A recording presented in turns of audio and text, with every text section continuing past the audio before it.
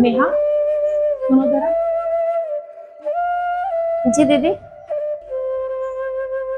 सुनो, तुम कल से काम पर मत आ क्यों दीदी? हमसे कोनो गलती हो गई, या फिर हम काम सही से नहीं करते? नहीं, ऐसी कोई बात नहीं है नेहा, बस तुम कल से काम पर मत आना। दीदी, कोई तो बात होगी, जो आप हमें ऐसे काम से निकाल रहे हो।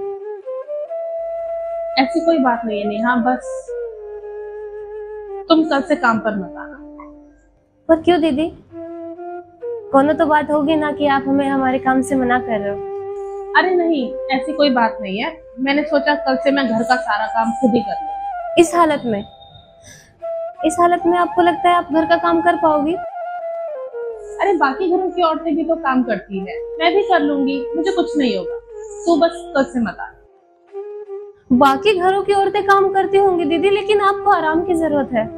और मैं मैं आपको ऐसे छोड़ के नहीं जा सकती। इस हालत में आपको छोड़ के मैं कैसे चली जाऊँ दीदी? अरे ऐसी कोई बात नहीं है। मैं कर लूँगी। मुझे कुछ नहीं होगा। देखो दीदी अगर आप हमें नहीं बताओगी ना तो मैं काम पर ज़रूर आऊँगी। तो आप सोच लो आप हमें बताओगी कि नहीं बताओगी? अरे नहीं ऐसी कोई बात नहीं है। वो दरअसल इनकी जॉब चली गई। और इस घर की ईएमआई घर का राशन और फिर तेरी तनख्वाह भी तो देनी है।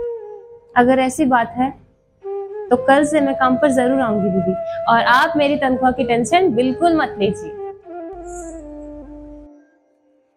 अरे नहीं नहीं तू मत आना मैं सब कर लूँगी। अगर तू आएगी तो फिर तेरी तनख्वाह कहाँ से देंगे? दीदी तो ठीक है जब तक हमारे साहब की जॉब नहीं लग जाती ना मैं आपसे तनख्वाह बिल्कुल नहीं लूँगी।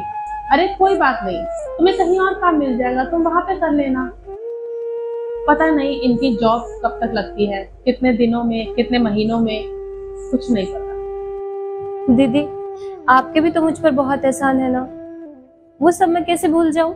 नहीं तुम मत आना कल से तुम्हें बहुत परेशानी हो जाएगी। इसमें परेशानी की क्या बात है दीदी? जब मेरी माँ का एक्सीडेंट हुआ था तब तब आप ही थी ना? जिन्होंने मुझे बोला था कि मैं अपनी माँ का ख्याल रखूँ। उनकी सारी दवाइयों का खर्चा भी तो आपने उठाया था ना। मुझे इतनी छुट्टियाँ दी ताकि मैं अपनी माँ की देखभाल कर सकूँ। और फिर भी फिर भी मुझे महीने की पूरी पगार दी आपने। मैं वो सब कैसे भूल जाऊँ दीदी? नहीं, मैं आपको इस मुसीबत में नहीं छोड़ के जा सकती। आपने भी तो मेरा वैसे ही साथ दिया था ना। जब मुझे किसी ने काम पे नहीं रखा था, तब आप ही थी ना। जिन्होंने मुझे काम भी दिया मुझे मेरी माँ की देखभाल करने के लिए छुट्टियाँ भी दी। फिर फिर इस हालत में मैं आपको छोड़ के चली जाऊँ? नहीं दीदी। वो तो ठीक है मगर अगर मगर कुछ नहीं। बस मैंने बोल दिया मैं काम पर आऊँगी और मैं आपकी देखभाल भी करूँगी। अब मैं क्या कहूँ तुम्हें? आप अब मुझे कुछ मत कहो। मेरी तनख्वाह की टेंशन आप छोड़ दो। हाँ। मेरी तनख्वाह की देखी जाएगी, पर मैं आपकी इस हालत में ज़रूर सेवा करूँगी। हाँ कह देती हूँ मैं आपसे। ठीक, जैसा तेरा मन।